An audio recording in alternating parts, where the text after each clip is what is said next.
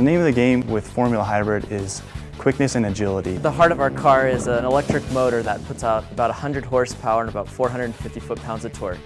We've chosen a parallel hybrid system, which allows us to either choose to run on battery power or E85 in our case. For fuel, instead of using gasoline, we're using an ethanol. It doesn't have quite the carbon footprint that a petroleum-based fuel would. Our motor controller is communicating with our electric motor along with our battery management system. This car would be perfect for the weekend racer. It has the highest performance that you could have in such a small package. This car accelerates extremely fast. It's like being fired from a rocket.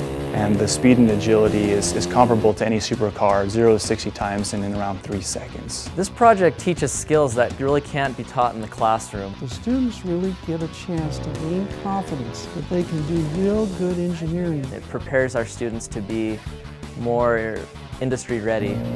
This vehicle represents a vehicle that can be fast and still conserve energy.